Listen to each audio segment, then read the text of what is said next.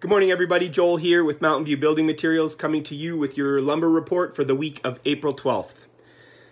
Starting with lumber. With the weather turning and building season upon us, mills have seen major takeaway this week. They're demanding significant premiums for quick shipping wood. Unfortunately, this is what most buyers need because we've been running our inventories so lean for so long. On to plywood. Major Canadian mills have reported sales on their August production, which pushed them out further one week. So new cash orders that we purchased today will be delivered the early in September. Now, why I think this is happening is I think a lot of bigger projects are starting to jump on their plywood needs uh, for later this summer, hedging their bets that lumber prices are going to um, flatten out uh, by uh, midsummer. Regarding OSB, nothing much changes here. The absence of the open market offerings continues as buyers struggle to find coverage.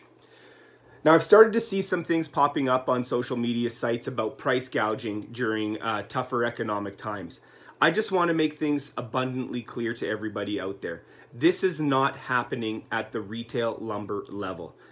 These price increases are coming from way higher up the food chain than any of us can control.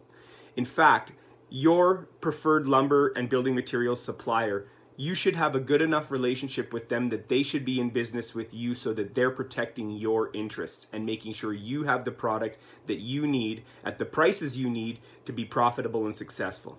And if that relationship isn't there, maybe think about finding a new supplier. Once again, I'm Joel with Mountain View Building Materials. I hope you have a great week.